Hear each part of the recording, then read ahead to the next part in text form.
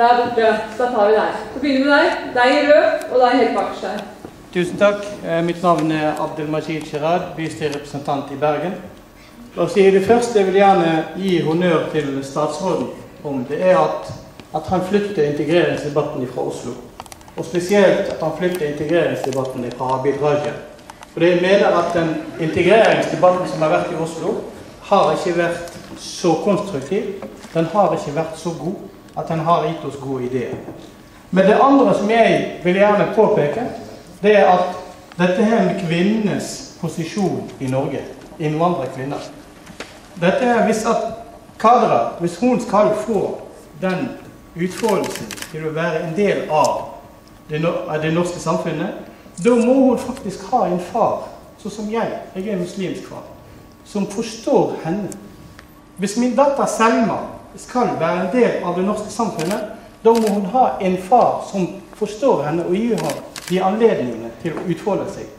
Og da vil jeg gjerne gå inn i det punktet som jeg syns er viktig.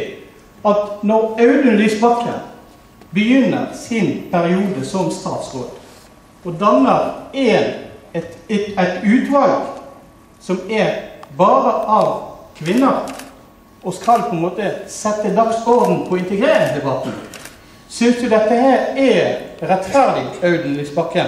At du bare setter inn en, et utvalg representert av kvinner, og sier at jeg, sa Abdelmajid Jiran, som kommer fra Tunisia, er også muslim og araber, skal på en måte glemmes i denne debatten her.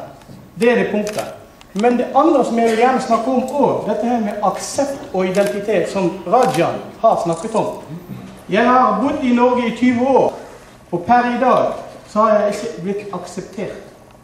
Og det kan illustreres i at i går, 17. mai, festdag for alle, jeg ble kalt for innvandrere som har ikke lov å være i Norge. Hvorfor kan jeg ikke reise hjem der jeg kommer ifra? Og det viser jo at vi er kommet så langt at vi har ikke blitt inkludert i Norge, dessverre. Uh, vi bare tar de tre spørsmålene,